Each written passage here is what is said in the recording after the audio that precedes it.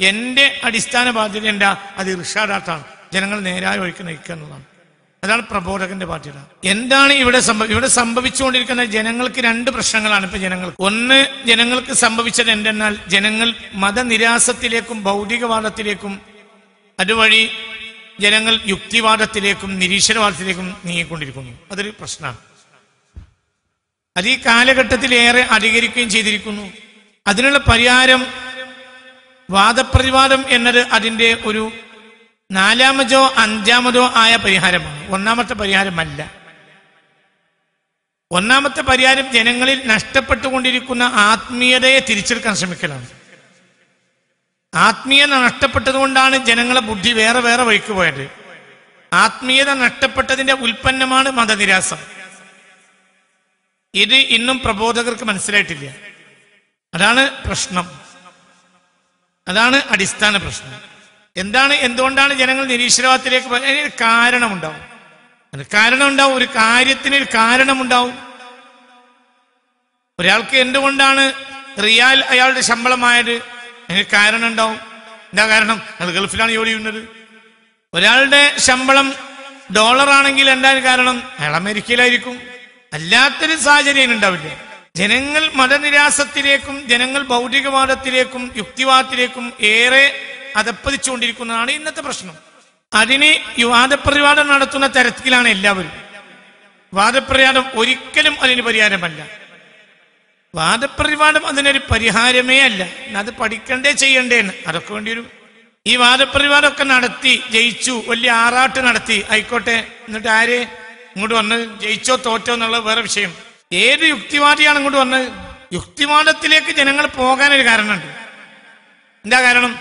ജനങ്ങൾക്ക് നഷ്ടപ്പെട്ട ആത്മീയതയാണ് അവരെ യുക്തിവാദത്തിലേക്ക് ചിന്തിച്ചത്. ചിന്തിപ്പിച്ചത്. നമ്മൾ ക്യാൻസർ വരെ മനുഷ്യന്റെ ഇവിടെ ഒരു ഒരു മുറിയായി പൊട്ടിയാൽ അതിനവിടെ തൽക്കാലം എന്തെങ്കിലും ഒരു തേപ്പ് മരുന്ന് തേച്ചിട്ട് കാര്യമില്ല. അത് താൽക്കാലിക ആശ്വാസം മാത്രമാണ്. ശരിയോ തെറ്റോ എന്നൊന്നും അർത്ഥമില്ല. തേപ്പ് മരുന്ന് തേച്ചിട്ടാണ് ഇങ്ങനെ തിരിച്ചുകൊണ്ട് നടന്നു. തേപ്പ് മരുന്ന് തേച്ചപ്പോൾ ഇവിടെ ഉണങ്ങുകയും ചെയ്തു. അപ്പോൾ തേപ്പ് മരുന്ന് തേപ്പ് മരുന്ന് എല്ലാ നമ്മ എല്ലാ നിലയിലും നല്ല ഉഷാറുള്ള തേപ്പ് മരുന്ന് എന്ന് പറഞ്ഞിട്ട് തുള്ളിച്ചാടിയാൽ നീ എന്ത് വിട്ടിയ ഇപ്പുറത്ത് മുളക്കും ഇപ്പുറത്ത് മുഴക്കും അത് അതിനേക്കാൾ വലിയ മുറിയാവും. പ്രശ്നം എന്താ? പ്രശ്നം ഈ മുറിയല്ല അതിന്റെ അടിസ്ഥാനമായ ക്യാൻസറാണ്. ഇവിടെ എന്താണ്? ഇവിടെ ഒരു പ്രശ്നം മതനിരാസം. രണ്ട് വഹാബിസമാണ്. വഹാബിസവും അതേപോലെ ഒരു മതനിരാസത്തിന്റെ ഒരു പകുതി വഴി എത്തിയ സാധനമാണ് വഹാബിസം. കുറച്ചുകൂടെ പോയാൽ നേരെ മതനിരാസത്തിലേക്ക് പോകും. ഒരാൾ നിരീശ്വരവാദിയാകാനുള്ള ചവിട്ടടി അയാൾ വഹാബിയാകുക വഹാബി വഹാബിയാവുന്നതോടുകൂടെ ദീനിന്റെ പകുതി ഭാഗം അയാൾ നിഷേധിക്കും. പിന്നെ അയാൾക്ക് നിഷേധിക്കാൻ വല്ലാതൊന്നും പോകേണ്ടതില്ല. കുറഞ്ഞ എളുപ്പത്തിൽ അയാൾക്ക് ബാക്കി കൊണ്ട് നിഷേധിക്കാൻ കഴിയും. ഇതാണ് സത്യം. ഇതാണ് യാഥാർത്ഥ്യം. എല്ലാവരും ആ വഴിക്ക് ചിന്തിച്ചുകൊണ്ടിരിക്കുന്ന ഒരു കാലത്ത് ഞാനിത് പറയുമ്പോൾ എന്നെ ഒരു ഭ്രാന്തനായി പരിഗണിക്കും. അതിവിടെ വിഷയമല്ല. അപ്പൊ ഇവിടെ എന്താ ഇവിടെ അടിസ്ഥാനം? ഈ രണ്ട് അടിസ്ഥാനം ഈ രണ്ട് കാര്യം. എന്നെ അടിസ്ഥാനം. എന്താ അടിസ്ഥാനം?